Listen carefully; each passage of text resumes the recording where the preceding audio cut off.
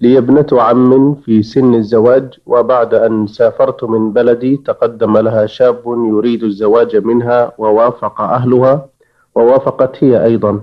وحينما عدت إلى البلد وعلمت بذلك طلبت من عمي أن يطلب من هذا الشاب أن يتخلى عنها لي فأنا أرغب الزواج منها. ولكن عمي رفض طلبي علما أن البنت نفسها تريدني أنا أن أكون زوجا لها حينما سئلت عن ذلك.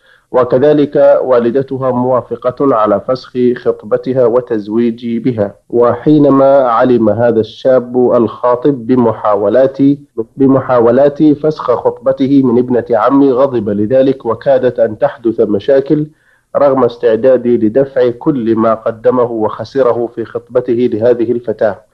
ولكن وبعد أن تدخل بعض الناس للإصلاح وطلبوا منه التنازل عن خطبته لابنة عمي وفعلا تم ذلك دون كامل رضاه بل فعله حياء وتقديرا وكما يقال جبر خاطر.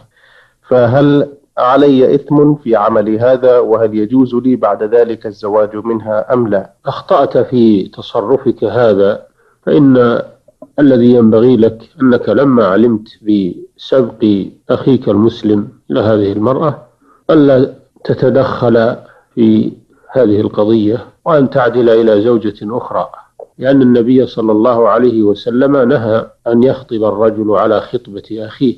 هذا حق لمسلم سبقك إليه فلا يجوز لك أن تتعدى عليه وأن تفسد شأنه في هذا.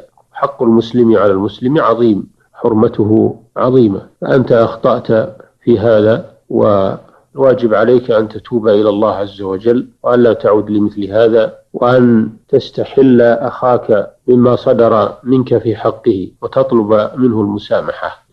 أما بالنسبة لتزوجها تسأل هل يجوز لك أن تتزوجها بعدما تخلى عنها؟ فإذا كان تخلى عنها ولم يبقى له رغبة فيها فلا مانع أن تتزوج منها.